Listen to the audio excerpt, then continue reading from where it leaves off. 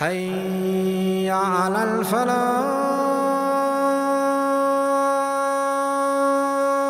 They tried their best. They constantly sought the forgiveness of Allah. Allah will call them out on the day of judgment and Allah will say, you know what? You tried hard. We tested you. We tested you with the toughest of tests. But that's because we love you.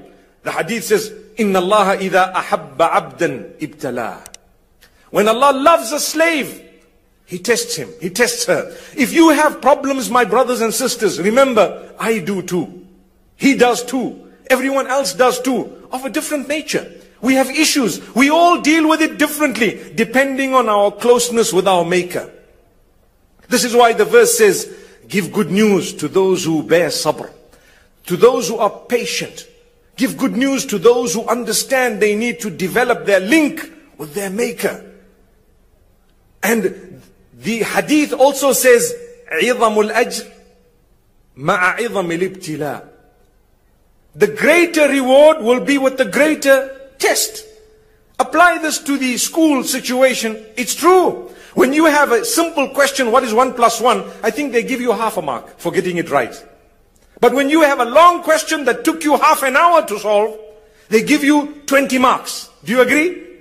The same applies with Allah subhanahu wa ta'ala. When He gave you a test that lasted five whole years, six years, you had difficulty, you struggled, you went through one thing after another. Financial problem, social problem, health problem, spouse problem, every other problem you can think about. Allah will give you 90 out of 100 based on that. And then you graduate. When you, how do you graduate? You have to get to the prize giving. Where is the prize giving? On this side of life or that side of life? It's on that side of this life. What that means is, there is a life that is absolutely eternal that begins the day this life ends. So this is what I was explaining to the young lad to tell him, you know what? You want to get to the prize giving without going to the school on that day, without climbing on the stage. You cannot, you cannot achieve Jannah without dying. If I were to ask you today, how many of you want Jannah, put up your hand. Everyone will put up their hand, right? The whole crowd. Who wants paradise? Everyone.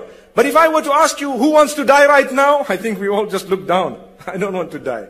But you want Jannah? Jannah is on the other side. May Allah make it easy for us to understand. This is the blessing of Allah. This is the gift of Allah subhanahu wa ta'ala. Live your life to its extent. Allah chooses when you will die. You are not allowed to harm yourself. Allah says, وَلَا تَقْتُلُوا أَنفُسَكُمْ إِنَّ اللَّهَ كَانَ بِكُمْ رَحِيمًا Do not harm yourself. Do not kill yourself. Do not commit suicide in any way. For indeed Allah is very merciful upon you if only you realize. May Allah subhanahu wa ta'ala help us realize this. So these are the blessings of Allah. We need to be patient. And that patience we will be able to achieve when we develop a link with Allah. Now, what link with Allah subhanahu wa ta'ala? You will notice many times in the Quran, many places, Allah links two things.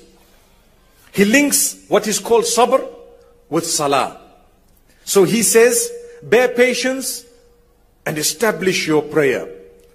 I can read for you a few verses. The first is verse number 45 of Surah Al-Baqarah. Allah says, وَاسْتَعِينُوا بِالصَّبْرِ وَالصَّلَاةِ Seek help through two things.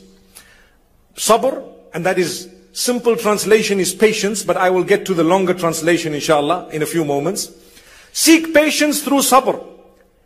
Patience. Sorry, seek help through patience. Seek help through patience and prayer. What's the connection between the two? Let's go back to the hadith of Abu Malik al-Ash'ari radiyallahu anhu. The Prophet sallallahu alayhi wasallam in Sahih Muslim is narrate, is recorded to have said that At-tuhuru shatrul iman. That's the beginning of the hadith. He speaks of cleanliness. We spoke about that today in Jum'ah in the Friday lecture. That cleanliness is half of your faith. It is a huge portion of your faith. You need to maintain cleanliness, not only that which is physical, but cleanliness in terms of a clean mind, clean in terms of your relationship with Allah, clean in terms of your relationship with the rest of the creation of Allah. Your character and conduct needs to be clean and you need to maintain cleanliness in every aspect of your life. But that hadith continues to say, وَالصَّلَاةُ نُورٌ الصَّلَاةُ نُورٌ The prayer, when we speak of salah, we are talking of the five daily prayers. And you can add to it that which is voluntary. Allah says that salah is a light. And then after that, the Prophet Muhammad sallallahu alaihi wasallam, obviously these are his words, but the message is from Allah subhanahu wa ta'ala. He says, as-salatu nurun. And he says, thereafter, when it comes to sabr, he says, was-sabru diya. Sabr, patience, is a light, but a different type of a light. One might ask, what's the difference between nur and diya? Let me tell you. Go back to the Quran to see the difference. Allah says, هو الذي جعل الشمس ضياء والقمر نورا Amazing verse. Allah subhanahu wa ta'ala says, it is He who has made the sun diya. And He has made the moon nur. Two words used to refer to light. The difference is one is calm and serene. It comes with a beautiful atmosphere and an ambience that is different. That is nur. So when you fulfill your salah, as-salatu nurun. Salah will bring about lots of comfort. It is called qurratul ayn. The Prophet sallallahu alaihi wasallam says, I have been granted the coolness of my eyes in salah. So when you fulfill your prayer and you do it, you've washed yourself, you have a beautiful place and you start off Allahu Akbar, amazingly, there is a beautiful, serene feeling. It is something that is filled with contentment, just like the light of the full moon when you are to look at it. It is white. It does not have a burning in it. It is cool. You can look into it. It is absolutely beautiful. You achieve contentment, beauty, calmness, and so on from your prayer. But when it comes to sabr, sabr means patience. It also refers to restraint. Let me take a moment to explain to you the three categories of sabr. Sabr means that patience, normally we just use the term patience. But when you have to fulfill the command of Allah subhanahu wa ta'ala, the strength that is required to do it is also known as sabr. I am bearing sabr because I need to fulfill the laws of Allah. There are two major types of laws. One is the do's and the other, the don'ts. So for the do's, I need sabr to do them. To get up early morning to read Salatul Fajr, subhanallah, is not a joke. Get used to it. It becomes your habit. You will open your eye automatically at the time of Salah because you're used to it. Your body has this computer that is amazing.